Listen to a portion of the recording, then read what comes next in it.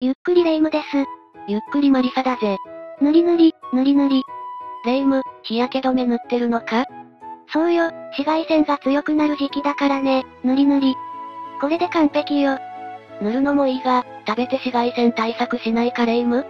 食べて、食べるなら何でもいいわよ。まったくレ夢ムは食欲旺盛なんだから。というわけで今回は紫外線から肌を守る食品についてゆっくり解説するぜ。もしこの動画が面白かったら高評価チャンネル登録していってね。ゆっくり健康食品解説。というわけで今回は肉じゃがの栄養紫外線対策食品についてゆっくり解説するぜ。夏もピチピチお肌になるわよ。まず紫外線とは波長が10から400ナノメートルで、可視光線より短く、X 線より長い目に見えない電磁波で、可視光線の紫色の外側であることから紫外線と呼ぶんだ。マリサよくわかんないわ、わかりやすく言って。紫外線とは太陽からも出てる、目に見えなくて体に害を与える可能性がある光だぜ。あ、わかりやすい。紫外線は体に悪いのよね。いやー。でも、紫外線には体にいい影響があるんだぜ。勘違いしてほしくないので、まずそのことについて解説するぜ。そんな紫外線のいいことは、皮膚が紫外線を浴びると、皮膚にあるコレステロールの一種からビタミン D が合成されるんだ。過去の解説で聞いたわ、紫外線でビタミン D が生まれるのよね。ビタミン D の働きにはカルシウム、リンの吸収率を高めたり、癌細胞の増殖を抑える、免疫細胞の調節、うつ病のリスクの低下、などの効果があるんだ。でもビタミン D って食品からも摂取できるわよね。紫外線を浴びなくてもいいじゃない？そう思うよな。しかしビタミン D を食事から摂取できる量は5.5マイクログラムであり、1日に必要なビタミン D は15マイクログラムであり、日光を浴びてビタミン D を産生する必要があるんだぜ。それじゃあ日光を浴びた方がいいのね。日光を浴びる時間は1日で10分から20分ほどで、部屋に引きこもる生活を続けなければ問題ないんだぜ。ちょっと買い物に行くだけでビタミン D を十分作ることができちゃうのね。でも浴びすぎると皮膚に悪影響があるな。いやー、私のピチピチお肌がー。紫外線には殺菌作用があり、細菌の DNA の鎖を変化させ死滅させるんだ。もちろん人間にも悪影響があるんだぜ。私のピチピチお肌がー。もし紫外線によるダメージを受けてしまうと、活性酸素が生まれ肌の老化が進んでしまい、肌のたるみ、シワが発生しやすくなるんだ。私のピチピチお肌がーでも大丈夫なんだぜ。人間には紫外線から身を守る働きがあるんだぜ。紫外線によって肌がダメージを受けると、肌を守るためにメラニン色素を作り出すんだ。日焼けしてお肌が小麦色になるのはこのためよね。うふうふ。でも過剰にメラニン色素が発生するとシミ、そばかすの原因になるんだ。私のピチピチお肌がまた紫外線を受けると肌が乾燥しやすくなり肌が荒れやすくなったり、角質が厚くなり毛穴を塞ぐことで、皮脂がアクネ菌によって分解されることにより炎症が生まれ、ニキビが発生したりするんだ。また皮脂が紫外線によって酸化することによる炎症でも、ニキビになる可能性があるんだぜ。私のピチピチお肌がまったくレイムはピチピチしか言わないんだぜ。だって乙女はいつまでもピチピチでいたいもの。それじゃあ次は紫外線から身を守ってくれる食品、栄養成分について解説するぜ。はい、マリサ先生。まずはビタミン A だぜ。ビタミン A には皮膚や粘膜を健康に保つ働きがあり、紫外線に強い肌を維持してくれるんだぜ。またビタミン A には紫外線を吸収してくれる働きがあるとされ、さらに肌の細胞が生まれ変わる仕組みであるターンオーバーを促す働きもあるんだぜ。じゃあ紫外線をガードして、紫外線によって熱くなった角質を新しくして、ニキビも予防してくれるのね。しかしビタミン A は紫外線によって分解されるビタミンであるため、日常的に摂取しないといけないんだ。人参とか多いわよね。人参ジュースをごくごく。そのまま飲むよりも、オリーブオイルを加えるといいんだぜレイム。ビタミン A や体内でビタミン A に変換されるベータカロテンは、吸収率が低いんだが、油脂性のビタミンであるため油と一緒に摂取すると吸収率が上がるんだぜ。生の人参の場合だと吸収率が約8%に対し、油と一緒に食べると50から80%に高まるんだ。じゃあサラダの時は油が含んだドレッシングをかけるといいのね。それでビタミン A を摂取するときは野菜から摂取するのがおすすめなんだ。野菜のビタミン A の多くは β カロテンとして含まれており、β カロテンは必要な量だけビタミン A に変換されるんだ。ビタミン A は摂取しすぎると、頭痛、吐き気、発疹、脱毛、筋肉痛、疲労感、皮膚の角質化、肝臓肥大、などの不調が起きてしまうので、野菜からビタミン A を摂取してほしいんだ。ビタミン A が多い動物性食品はレバーよね。食べ過ぎには気をつけないとね。じゃあおしゃれにオリーブオイルを入れた人参ジュースをごくごくするわよ。ちなみに β カロテンを摂取しすぎると、β カロテンの色素によって肌が黄色っぽくなるので注意だぜ。ちなみに、それ以外の影響はないので、肌が黄色になってしまったら食べるのを控えるといいな。いやー、前が見えないわー。なんで真っ黄色になるんだぜ？次はビタミン C だぜ。ビタミン C は体内で皮膚の材料にもなるコラーゲンを作り出すビタミンであり、さらに抗酸化作用や、メラニン色素の発生を防ぐことで、皮膚が紫外線を浴びた際に生まれる活性酸素を除去したり、シミやそばかすの発生を防いでくれるんだ。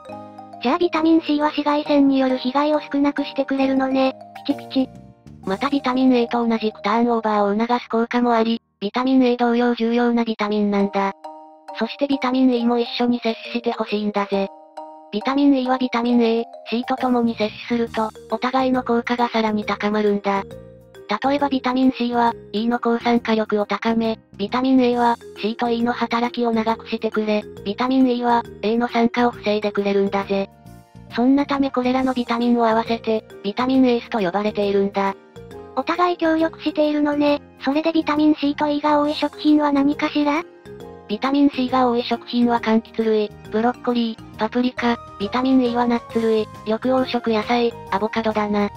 私は柑橘類を食べるわよ。甘酸っぱくて暑い夏に食べると美味しいんだから。それはいいなレイム。柑橘類にはヘスペリジンという成分が含まれているんだぜ。ヘスペリジンどんな人なのかしら？人じゃないんだぜ。ヘスペリジンとはポリフェノールの一種で、ビタミン P と呼ばれていたんだが、実際にはビタミンに近い働きがあるビタミン用物質であり、正確にはビタミンではないんだ。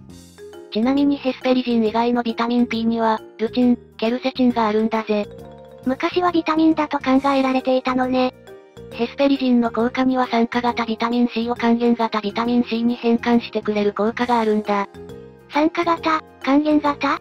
まず還元型ビタミン C は体内で使うことのできるビタミン C なんだ。次の酸化型ビタミン C とは体内で使うことができないビタミン C で、体内で還元型ビタミン C を使用すると酸化型に変化するんだ。じゃあ還元型を使って酸化型になったら、もう使うことができないじゃない。でもヘスペリジンが酸化型ビタミン C を還元型へと変換してくれると、ビタミン C を再度使用することができるんだぜ。それはいいわね。ビタミン C のリサイクルよ。さらにルチンもビタミン C と一緒に摂取してほしい成分なんだ。ルチンってビタミン P よね。ゆっくりレイルチンよ。そうだな、ルチンの効果にはビタミン C の吸収を助けてくれる働きなんだぜ。じゃあビタミン C をいっぱい吸収して紫外線のダメージを軽減してくれるわ。他のルチンの効果には毛細血管の強化、認知症予防、抗酸化作用などもあり、積極的に補給してほしい成分だな。それでルチンって何に含まれているのかしら？ルチンは蕎麦やイチジクに含まれている成分なんだ。特に脱炭蕎麦という蕎麦に多く含まれており、通常の蕎麦の約100倍も含まれているんだ。毎日脱炭蕎麦を食べるのは大変だと思うので、脱炭蕎麦茶から摂取してほしいんだぜ。蕎麦茶だと毎日飲むことができるからな。蕎麦茶いいわね。ごくごくごく。次はポリフェノールだぜ。ポリフェノールは植物が作り出した苦味、渋み成分などで、中には紫外線から身を守る成分があるんだ。それはアントシアニンやリコピンだぜ。知ってるわ、ブルーベリーやトマトに多い成分よね。そうだな、アントシアニンには強力な抗酸化作用があり、それが皮膚の中で働けば、紫外線を受けた際に生まれる活性酸素を除去してくれるんだ。そのため活性酸素を生まないようにするためにメラニン色素を産生して、シミやそばかすの発生を防いでくれるんだ。またアントシアニンは目の中でも抗酸化作用を発揮してくれるので、眼性疲労や目の病気を防いでくれるんだ。アントシアニンは目と肌を守ってくれるのね。ピチピチ。またトマトに多いリコピンも皮膚で抗酸化作用を発揮し、さらに目と血管でも発揮するんだ。トマトもいいのね。ピチピチ。またレスベラトロールというポリフェノールもいいぜ。レスベラトロールとはブドウやワインに含まれている、強力な抗酸化作用を持つポリフェノールで、レスベラトロールにはメラニン色素の発生を抑えたり、紫外線や細菌によって引き起こる炎症を抑えたり、皮脂を分解するときに炎症を引き起こしてしまうアクネ菌の増殖も抑えてくれるんだぜ。じゃあブドウでピチピチになっちゃうわね。またレスベラトロールには長寿遺伝子を活性化させることで、活性酸素が産生される量を少なくして老化予防に貢献してくれるんだ。さらに若々しくなっちゃうのね。うふうふ。ちなみにレスベラトロールは植物の皮部分に多く含まれていて、ブドウの皮、アーモンド、ピーナッツの皮に多いんだ。じゃあブドウから摂取するならレーズンを食べるといいわね。またビタミン E も摂取したいならアーモンドがおすすめだな。他にもポリフェノールがあり全部紹介できないんだが、色が濃い植物にはポリフェノールが多いものが多いので、紫外線対策には色が濃い野菜、果物を食べてほしいんだぜ。それじゃあ、色が濃くて美味しい果物買いに行きましょマリサ。あと最後に解説したいものがあるんだぜレイム。え、何かしらマリサ？それは甘酒だぜ。え、甘酒？お肌にいいってイメージがないんだけど。甘酒はお米を麹菌の発酵によって澱粉が分解されてできた、甘くて美味しい飲み物だな。この甘酒を作る過程で働いた麹菌によって、お肌にいい成分が生まれるんだ。麹菌がいい成分を作り出すだなんて、飲むしかないわ。それは麹酸だぜ。麹酸には紫外線を浴びた際に生まれるメラニン色素の産生を防いで、シミ、そばかすを防いでくれるんだ。またメラニン色素の発生を防いでくれるのね。さらに糖化という糖とタンパク質が結びついて AGEs という物質が、生み出されるのを制御してくれる働きがあるんだぜ。ちなみに糖化はパンを焼く時にも発生する反応で、こんがりといい香りがするよな。そうよね、糖化はいいわ、こんがり焼けていい香りで。じゃあお肌が糖化したらプルプルお肌がこんがりになっちゃうじゃない。こんがりという表現はちょっと違うかもしれないが、糖化によって肌の質が悪くなるのは確かだな。麹酸で糖化を防いで肌のシミを防いだり、さらには血管も柔らかく若々しくしてくれるので、おすすめ成分だな。麹酸、やりますねまた甘酒にはエルゴチオネインという成分が、皮膚の光老化を制御する効果、肌の弾力を保つ効果があり、同じく甘酒に含まれているフェルラ酸には、メラニン色素の発生を防いでくれる働きがあるんだぜ。甘酒には紫外線からシミそばかすが生まれるのを防いだり、その他お肌にいい効果があるなんて、ピチピチになりたいなら飲まないとね。でも暑い夏に甘酒なんて飲めないわ、冬なら美味しいのに。レイム、実は甘酒は夏の飲み物なんだぜ。え、甘酒が夏の飲み物？甘酒は麹菌の発酵によって栄養を消化吸収しやすく、ブドウ糖のようなエネルギーが多く含まれているんだ。そういったため、甘酒は食欲がない時でもエネルギー補給ができる夏バテ予防の飲み物で、夏の季語でもあったんだ。ちなみに現在、甘酒が冬に飲むイメージが強い理由に、甘酒はお米の収穫に感謝したり、祭りやお祝いごとに飲む習慣があり、それが現代まで残った結果、お正月に飲むようになり、それから冬の飲み物というイメージがついたんだぜ。昔は夏の飲み物だったのね。でも甘酒はあったかいのがいいわ。まあまあレイム、甘酒は冷やして飲むと美味しいんだ。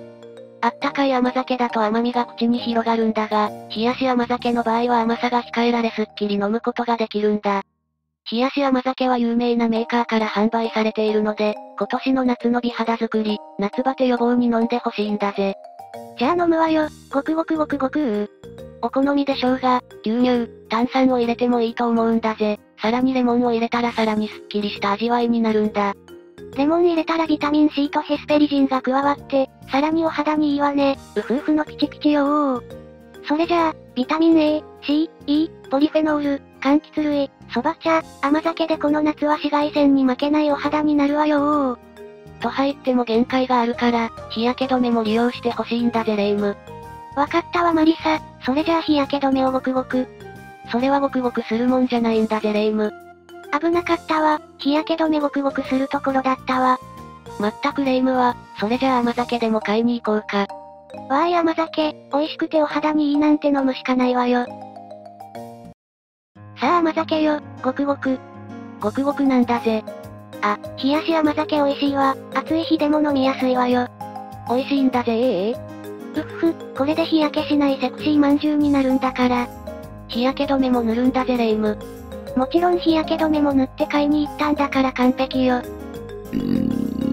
冷たい甘酒ごくごく飲んだらお腹があー冷えたわー。こうなったら温かい甘酒も飲まないとね。ただ甘酒が飲みたいだけなんだぜ。さあごくごくごくごく。あちちちちー。日焼けじゃなくて火傷してまったクレームは騒がしいんだぜ。